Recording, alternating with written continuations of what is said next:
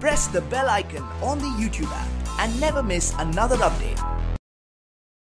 असलकुम welcome to my channel technically मैं चलिए शुरू करते हैं। तो दोस्तों, आज की इस वीडियो के अंदर मैं आप लोगों को दिखाने वाला हूँ कि अपने व्हाट्सएप एप्लीकेशन पर ब्लू टिक प्रॉब्लम को फिक्स कैसे करें।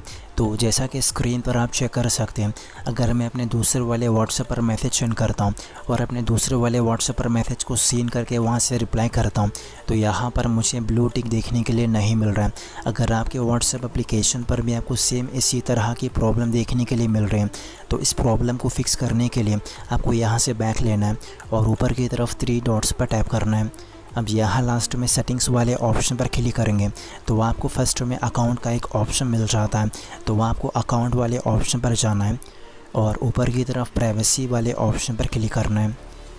तो जैसा कि सेंटर में हम देख सकते हैं, यहाँ पर रीड रिसिप्ट का जो ऑप्शन है वो डिसेबल किया हुआ है।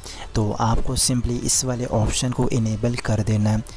और इस ऑप्शन को इनेबल कर लेने के बाद मैं दोबारा से उसी चैट को ओपन करता हूँ और यहाँ पर मैसेजेस को सेंड और रिसीव करके भी दिखा देता हूँ। तो मैसेज सेंड करने के बाद जैसा ही मैं दूसरे वाले व्हाट्सएप को ओपन करता हूँ तो यहाँ पर मुझे ब्लू टिक देखने के लिए मिल रहा है। तो इसी तरह आप भी अपने व्हाट्सएप एप्लीकेशन पर इस प्रॉब्लम को ईज़िली फ़िक्स कर सकते हैं।